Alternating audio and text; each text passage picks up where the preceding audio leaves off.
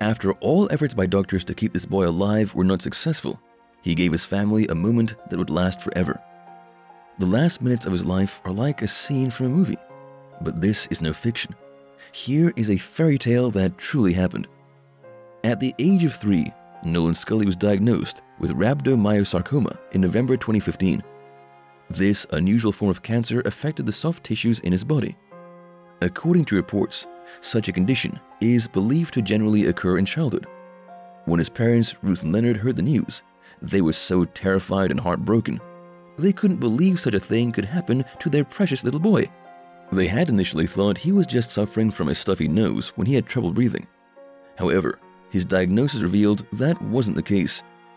Doctors then informed them that their son would have to go through a series of tough treatments to fight the medical condition. The little boy spent over one and a half years undergoing different exhausting treatment regimes, such as chemotherapy and radiotherapy. However, even though he had a tumor fully taken out, cancer still got to his lungs and was damaging his body.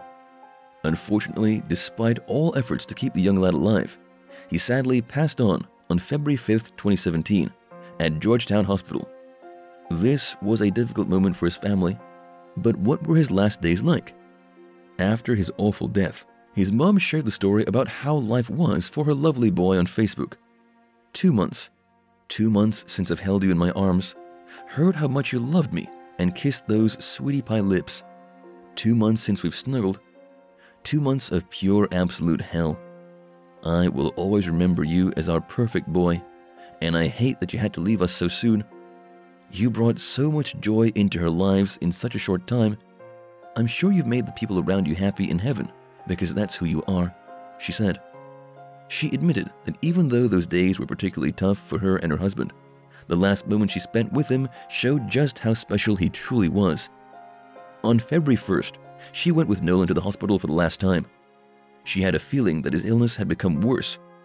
This was because she noticed that he had not been eating for days and he was vomiting constantly. At the hospital, they sat down in front of his doctors, waiting to hear what they had to say about the case. The American mother revealed that when her boy's oncologist spoke, she saw true distress in his eyes. He disclosed that an updated computerized tomography scan revealed huge tumors that were tightening his heart and bronchial tubes. According to him, the boy's cancer had spread so much and had become immune to all their treatments. What the doctors told the young boy's mother next broke her heart. They informed her that all they could do was keep Nolan comfortable while his death approached quickly. The woman couldn't hold back her tears as she went back to her son's room. She sat down by his side, placed her head against his, and they both had an emotional conversation. She disclosed that she asked her boy if he found it difficult to breathe and if he was in so much pain. According to her, he told her yes. However, she told him even though his cancer sucks, he wouldn't have to fight it anymore.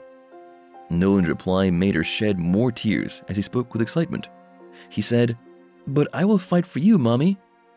She told him that her job was to keep him safe, but she couldn't do that anymore. She told him that the only way she could keep him safe was in heaven. The little boy asked her if she would be right there with him. She said, Absolutely. You can't get rid of Mommy that easily. Isn't that remarkable? Ruth was with him throughout his last days at the hospital. According to her, they played, smiled at each other, and watched lots of videos on YouTube together. Even though it was clear that he wouldn't live for long, the plucky boy was still optimistic and full of life. He went on to discuss what he wants his funeral to look like with his mom. I asked if he wanted people to be happy or sad at his funeral. He looked at me confused and said, Happy? Why would anybody be sad? His mother said.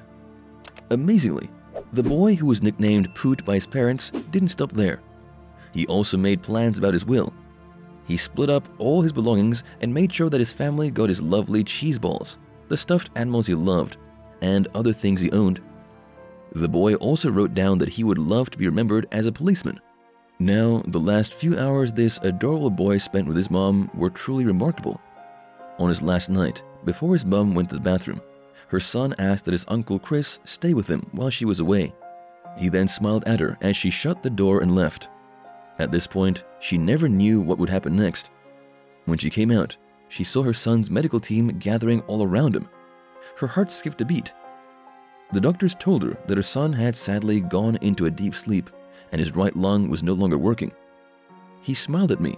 I shut the bathroom door.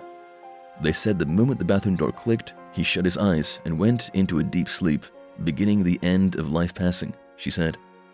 She immediately ran to be with her son, sat on his bed, and placed her hand on the right side of his cute face. It was at this moment that he did what she never thought was possible, like it was a miracle. Nolan took a deep breath, opened his gorgeous eyes, turned his head toward his mom, and he said to her, smiling, I love you, mommy.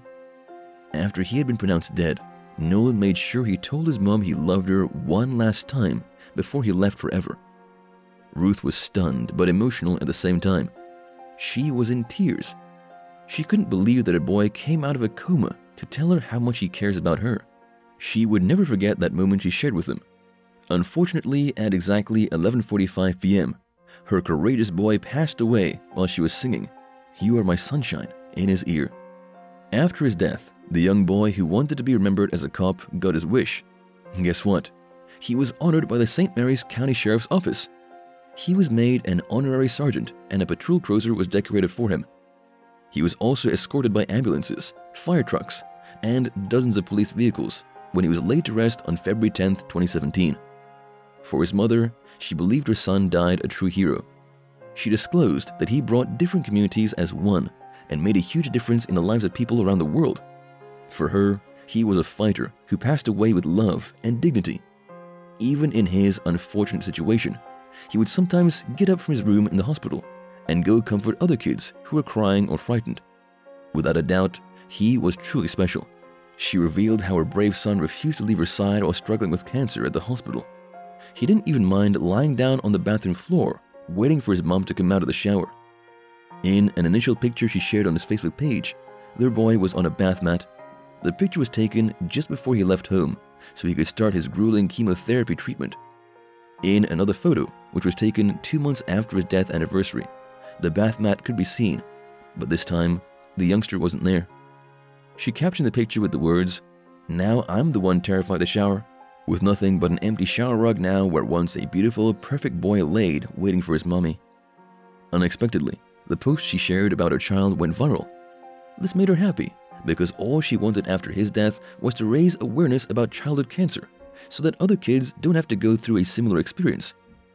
She also hopes that there could be better funding, treatment options, and research for the illness that affected her son. Even though the Leonardtown boy is no more, he would continue to be remembered as a lovely kid whose desire was to protect and serve people. Nolan is truly special, as his life was very impactful despite being so short. What do you think about Nolan's story? I can't wait to read them in the comments. Till next time, stay safe.